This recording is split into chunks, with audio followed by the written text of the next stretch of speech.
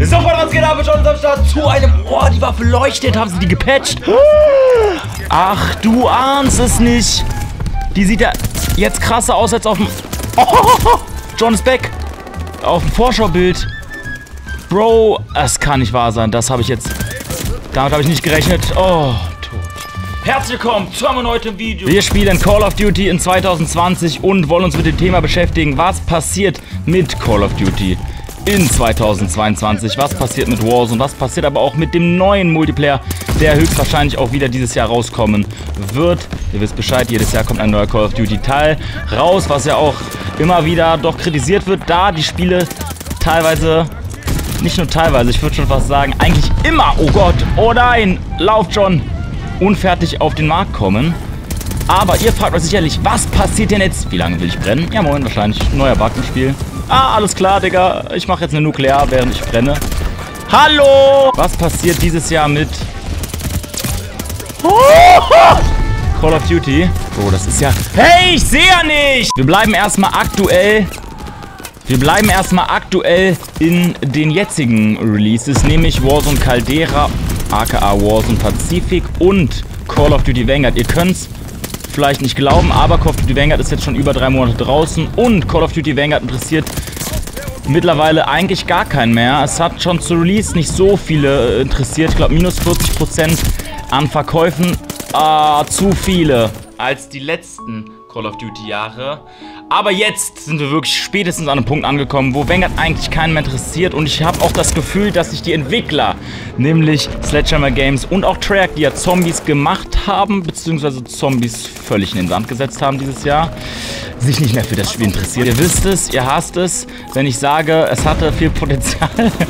Ich, ich krieg einen fucking Nervzusammenbruch, wenn ich das noch einmal sage, diesen Satz. Aber es hatte Potenzial, wurde aber nicht so dölle aus genutzt. Obwohl jetzt die Runde gerade schon sehr Spaß muss, äh, macht, muss ich sagen. Das ist gerade schon sehr lecker. Mal toter Briefkasten an. Vielleicht können wir uns ja mal so ein Orbi wenigstens erschummeln. MP40 ist halt auch einfach... Bro. Hey, er borbelt mich. Oh, aber wir leben noch. Wir sind off-streak. Tot. Wir werden nice Spawn. Dies entsprechend, dementsprechend in Call of Duty Vanguard noch die paar Seasons bekommen, wahrscheinlich noch vier Seasons oder sowas. Wir haben jetzt die erste Mid-Season-Update kam gestern. Ich weiß zwar nicht, was so wirklich mit dem Mid-Season-Update gestern kam. Eine neue Waffe kam auf jeden Fall. Dementsprechend, ihr kennt es, noch ein paar DLC-Maps, paar DLC-Waffen, Season, Battle-Pässe. Oh, Digga, jetzt geht's aber hier ab. Werden wir noch für Call of Duty Vanguard bekommen. Und hoffentlich, vielleicht ja noch, vor dem nächsten Call of Duty den Liga-Modus. Der Liga-Modus, da haben wir jetzt das allererste Mal eine Information, eine offizielle Information seit dem Release von Sledgehammer Games bekommen, was genau jetzt mit Liga passieren wird. Und da kam diese Nachricht, die ich euch jetzt mal einblende, die Jam bei uns in die WhatsApp-Gruppe geschickt hat. Denn, wie ihr wisst, ich freue mich sehr auf Liga. Die Nachricht, die wir da jetzt aber ganz unten lesen, den letzten Satz. We'll be sharing more on this topic in the coming weeks. Sie, falls ihr es nicht äh, gelesen habt oder kein Englisch könnt, sie schreiben, yo, wir haben das mitbekommen, ihr feiert alle extrem den Liga-Modus Competitive in Call of Duty. Das zeichnet unter anderem gewisserweise auch Call of Duty aus. Aber, obwohl wir das wissen und auch eigentlich eine Call of Duty Liga haben, wo es um sehr viel Preisgeld geht und sehr viele Sponsoren am Start sind, haben uns um Competitive dieses Jahr noch nicht so wirklich gekümmert. Den Liga-Modus dementsprechend noch nicht rausgehauen. Apropos, kleiner Fun-Fact an der Seite, während ich hier wieder das ganze Game brenne. Die Competitive-Szene ist auch komplett am Boden. Nature und alle schreiben darüber, denn es gab bisher noch kein offizielles Turnier zu äh, Call of Duty Vanguard. Und ich glaube, soweit ich das jetzt verstanden habe, darf man auch Call of Duty Competitive Turniere aktuell nicht streamen. Multiplayer Competitive, also hier SD-Stellung. Ich weiß nicht, ob das komplette Fake News ist, lasst es mal in den Kommentaren wissen. Aber irgendwelche Verträge wurden da wahrscheinlich anscheinend unterschrieben, weshalb die Competitive-Szene durchdreht. Vollkommen gaga, was sich Activision sich dabei wieder gedacht hat. Und im Liga-Modus, wenn ihr die Informationen hört, dass sie uns mehr Informationen geben in den nächsten Wochen, dann können es zwei Wochen, vier Wochen, aber auch acht Wochen sein. Und wenn wir in acht Wochen Informationen bekommen, dann bekommen wir Liga nicht vor drei Monaten. Und dann wird es im besten Fall der gleiche Kack-Liga-Modus sein, wie schon zu Black Ops 4, zu Cold War Zeiten und dann haben wir davon auch nichts. Das erstmal so zum Call of Duty Vanguard Multiplayer im Jahre 2022. Caldera wird sicherlich auch natürlich wie auch Vanguard, ihr wisst Bescheid, das ganze Call of Duty Universum funktioniert mittlerweile, nicer Quickscope, funktioniert mittlerweile ja total innig, dass auch der Battle Pass und die Waffen natürlich weiterhin zu Caldera kommen werden. Sicherlich werden wieder einige Patches behoben mit der Inklusivität, dass neue, viel schlimmere äh, Unglücke, Glitches, Bugs zum Spielen zukommen. Ich weiß nicht, ob ihr es mitbekommen habt. Es gab... Oh! Es gab einen unsichtbaren Skin in Warzone, wo man nur dann den Kopf gesehen hat. Der wurde dann rausgepatcht. Gleichzeitig gab es dann auch mit dem Patch, ich meine, sechs unsichtbare Skins was ich auf Twitter und Instagram gelesen habe. Ich habe mir Caldera ehrlich gesagt nicht angetan die letzten zwei Tage, weshalb ich diese Informationen nur von Twitter habe. Aber die Warzone-Bubble, die ja eigentlich die letzten ein, zwei Jahre sehr ja, bevorzugt wurde von Call of Duty und sehr viel Spaß hatte an Warzone. Eine komplett neue Szene ist sehr gefühlt geboren worden mit Warzone, denn es gibt so viele neue Call of Duty Spieler, die eigentlich keine Call of Duty Spieler sind, weil sie teilweise nichts mit dem Multiplayer zu tun haben aber halt durch Warzone in die Verbindung gekommen sind. Warzone-Szene ist am Boden, alles ist falsch. Kasa hat ein 40-minütiges Video gemacht. Ihr wisst, der absolute Meister von Warzone hat ein 40-minütiges Video gemacht, wo er über die aktuelle Situation redet und seine Meinung mal zu dem ganzen Theater abgibt. Krampus war ja auch irgendwie vollkommen nervig. Das habe ich auch ein bisschen mitbekommen. Zum Glück nicht Vollzeit, weil ich ja auch wegen meines PCs jetzt nicht so viel gezockt hatte, weil der kaputt war. Ihr habt das ja alle mitbekommen. Der Campus war aber auch für meine Woche, die ich damit zu tun hatte, ein absoluter Vollkrampf. Also mal schauen, was mit Warzone Caldera noch so dieses Jahr passiert. Da wird sicherlich einige Updates, wie gesagt, geben, neue Waffen und so weiter und so fort. Kommen wir nun aber zur eigentlich wahrscheinlich interessantesten Ankündigung. Das ist nichts Offizielles, das sind nur Leaks bzw. Gerüchte. Denn, aua, ein neues Call of Duty soll dieses Jahr obvious rauskommen und das soll den Namen Call of Duty Modern Warfare 2 beinhalten.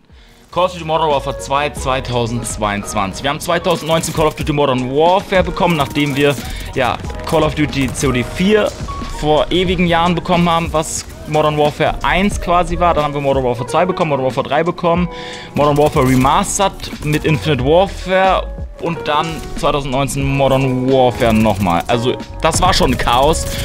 Und weil Modern Warfare 2019 so ein Erfolg war, so viele OGs zurückgeholt hat, dachte sich Activision, komm scheiß drauf, wir machen noch einen Teil. Wir machen jetzt einfach vom neuen, aktuellen Modern Warfare Universum eine Fortsetzung und somit den zweiten Teil. Das ist, wie gesagt, nur ein Gerücht. Es gibt noch nichts Offizielles dazu, aber Punkt 1 macht Sinn, denn Modern Warfare 2019 war erfolgreich, hat sehr viel Geld eingebracht. Activision hat ein großes Interesse an Wallbang. Activision hat ein großes Interesse an wirtschaftlichen Erfolg, was ja einem Unternehmen nicht vorzuwerfen ist, denn jedes Unternehmen muss auf die Zahlen schauen. Nur wenn die Community, die Verbraucher, die Kern Spieler so verarscht werden über Jahre, dann ist es fragwürdig und Activision hat sicherlich auch außerhalb der Gaming-Welt bezüglich Mitarbeitern und irgendwelchen Skandalen da auch einige Scheiße am, am Laufen, weshalb ich Activision und Call of Duty durchaus kritisch betrachte. Aber eine Fortsetzung von Modern Warfare 2019, vielleicht spielen wir das Spiel auch einfach mal die Tage, vielleicht auch mal mit einem FOV, weil ich glaube, vieles hat kaputt gemacht, für die Konsolenspieler das 80er Field of View. Absolutes Gammel-Movement, vollkommen äh, räudig für mein Empfinden. Vor allem, kamen ja von Black Ops 4, was sehr, sehr schnell war im Vergleich. Und dann sind wir da auf äh, diesem 80er FOV. Klar, wir hatten BO4 auch 80er FOV, aber ich glaube, wenn ich es jetzt hier auf dem PC spielen würde, würde Modern Warfare 2019, allein diese ganzen Namen ist jetzt schon schwindelig, würde das auf jeden Fall Spaß machen. Eine Fortsetzung weiß ich aber nicht, ob wir das wirklich brauchen. Schreibt mir gerne mal eure Meinung in die Kommentare. Freut euch schon drauf. Seid schon richtig hyped, ersten Trailer zu sehen. Dann Alpha, Beta, Gamma, Delta. Äh, sieben Monate vorher hat man schon alle Waffen, alle Maps gesehen. Und dann geht es wieder rein. Battle passieren, neue Waffen da. Warzone-Integration, ein Monat zu Season 1, eine neue Warzone-Map. Map im Modern Warfare 2 Stil. Ähm, es gibt dann noch äh, einen neuen Modus, das ist auch einer der Leaks von Tom Henderson, der eigentlich alles richtig geleakt hat über die letzten Jahre. Der sagt, es soll ein TM Z-Modus, nee, DMZ-Modus, meine ich, kommen, der schon seit 2018 in der Entwicklung ist. Das ist das Einzige, wo ich sage, okay, Modern Warfare 2019, äh, oh, Digga. Das ist das Einzige, wo ich sage, okay, Modern Warfare 2 2022 hat eventuell Potenzial, da es wieder, laut auch den Leaks, mindestens ein drei Jahres Entwicklungs... Ähm, Entwicklungszyklus äh, gehalten. Was? Drei Jahre soll das Scheiß-Game anscheinend entwickelt worden sein. Während irgendwie Vanguard nur ein halbes Jahr laut irgendwelchen Leaks, soll es jetzt drei Jahre sein und irgendwie dieses Scheiß, dieser Scheiß-Modus, der so ein bisschen Escape from Tarkov-Style sein soll, als Koop-Ersatz eventuell, der soll schon seit vier Jahren entwickelt werden. Ach, ich weiß es auch nicht, keine Ahnung. Das ist auf jeden Fall alles, was uns bevorsteht in diesem Jahr in Sachen Call of Duty. Schreibt mal in die Kommentare, auf was ihr äh, am meisten gehypt. Warzone Caldera, dass es endlich äh, keine unsichtbaren Skins mehr gibt. Dass Call of Duty Vanguard endlich den Liga-Modus bekommt. Oder doch Modern Warfare 2 2022 mit Alpha, Betas, Gammas, Deltas. Ihr merkt an meiner, an meiner Erzählweise, so richtig heiß bin ich gerade noch nicht. Das wird sicherlich auch kommen, aber jetzt gerade habe ich noch keinen Bock aufs, über das neue Call of Duty zu reden. Ich dachte aber, es interessiert euch sicherlich. Und ich habe mich nämlich auch interessiert, weil ich habe auch nur die Videotitel gesehen, die Thumbnails, und da war auch alles viel aufgeblasener Scheiß. Und hier war jetzt auch sicherlich nicht so viel Information, weil man einfach nicht weiß. Aber ich habe mir ein paar Sachen angeguckt und das ist das, was ich auf jeden Fall euch mit auf den Weg geben kann. Schreibt mir gerne eure Meinung dazu in die Kommentare. Ich bin raus. Wunderschönen, prächtigen Resttag. Haut rein. Ciao. Ciao. Piu.